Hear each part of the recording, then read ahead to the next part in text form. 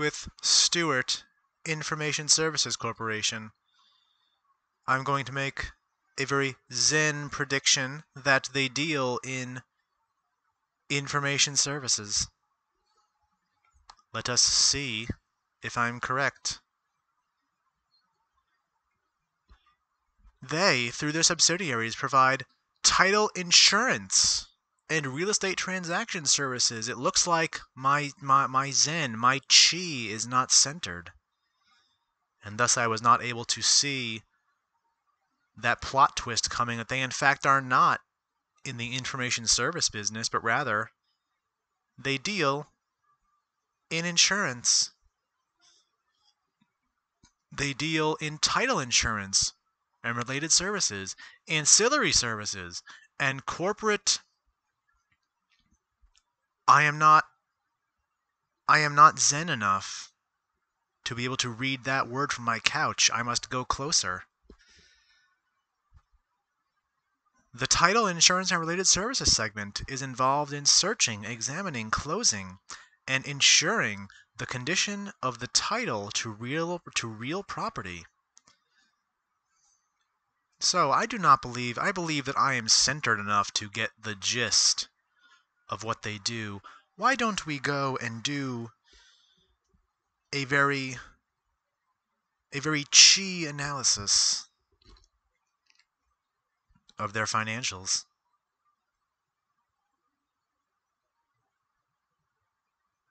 Not good, but not terrible. The margin between revenues and earnings is quite large.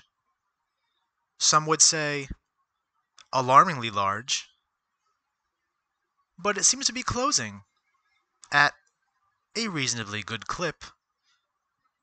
As you can see with the comparison between 2019 and 2020. Let's see if the quarterly reports reflect that. And yes, they do. In fact, these revenues through the quarter are very impressive. Very steady rise. Although, looking at the earnings, somewhat unimpressive, especially when looking at comparable uh, earnings of of third quarter and fourth quarter. Even though revenues keep going up, earnings remained somewhat stagnant. I mean, they still beat.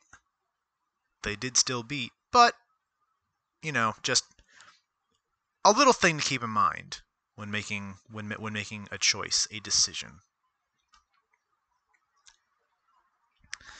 Let us analyze the charts. Let us feel be one. Be one with the chart. Be one with the 5-day chart, which unfortunately does not look good.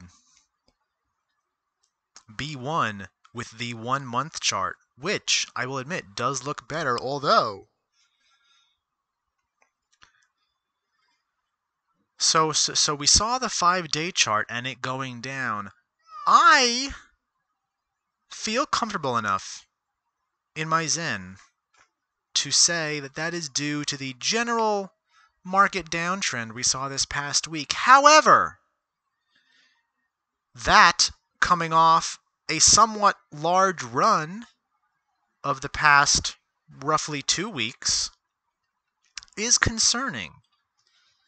It did seem like it fell more than some others, and because it fell from those highs, it makes me think that those highs could have been a quite a big bubble of sorts. So this one month chart is not terribly impressive either. What about the six month? Be one with the chart. B1 with the six month chart, B1 with the one year chart if I can click it. Unfortunately, my hands are being stupid. My hands are not centered enough to click on the one year button, but now we are here. Again, not not not not terribly impressed. They do pay a dividend though, which is very nice.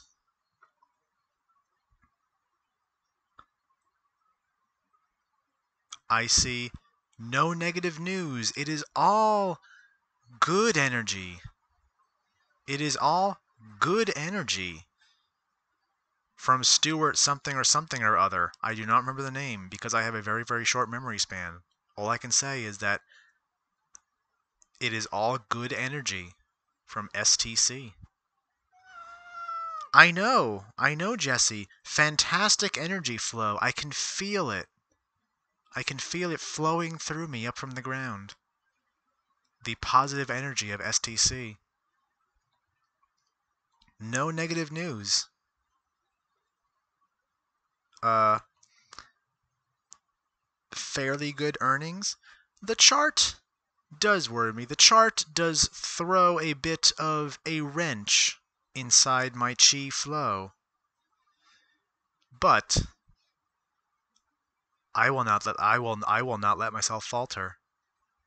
I will find my center and I will say that STC is a very zen. Bye.